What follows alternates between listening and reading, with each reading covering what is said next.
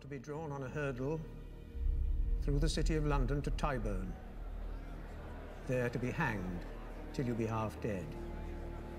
After that, cut down alive, your bowels to be taken out of your body and burnt before you, your privy parts cut off, your head cut off, your body to be divided in four parts.